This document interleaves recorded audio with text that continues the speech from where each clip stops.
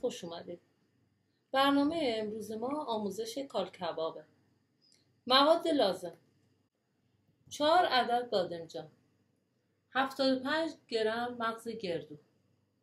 نصف فنجان دانه انار ترش. نصف فنجان آب انار ترش. یک قاشق چای خوری گلپر پودر گلپر. یک قاشق چای خوری پودر فلفل سیاه. دو حبه سیر.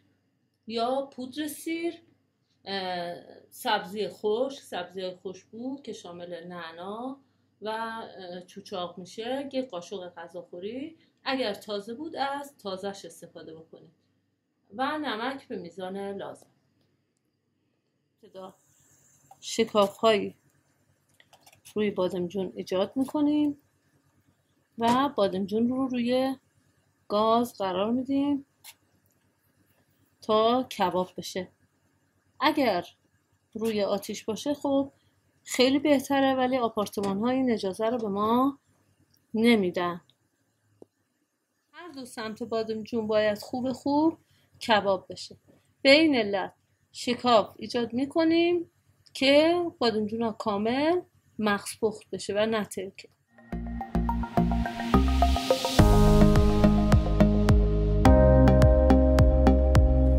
بتونیم بادمجونا رو تمیز سرپوست بکنیم. شیر آب رو خیلی کم باز می‌کنیم. بادمجون رو زیر شیر آب نمی‌گیریم. دستمون رو خیس می‌کنیم و پوست بادمجونا رو می‌کنیم. بادمجونا رو بعد از اینکه پوست کندیم یا خورد می‌کنیم یا میکوبیم داخل غذا ساز. نمی‌ذاریم که بافت کلی بادمجونا رو از بین ببره. آسیاب بکنیم.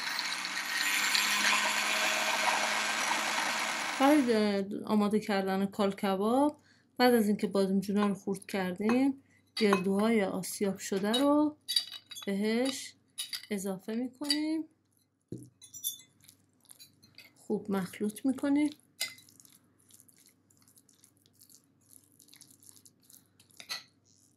بعد از این مرحله سیرها رو خورد می‌کنیم. می‌تونیم از یه قاشق چای خوری پودر سیر استفاده کنیم. اگر بوی سیر ناراحتتون می‌کنه. بعد سبزی خشکمون رو اضافه می‌کنیم.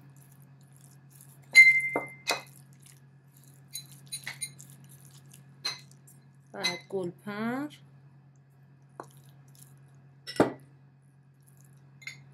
فلفل سیاه.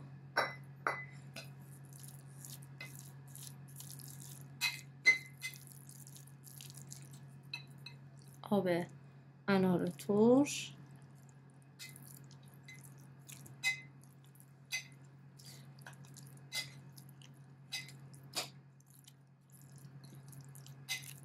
و دونه های انار ترش. شما می‌تونید یا از دونه انار استفاده کنید یا از آب انار. ولی من از هر دوتاش دارم استفاده می‌کنم اینجا.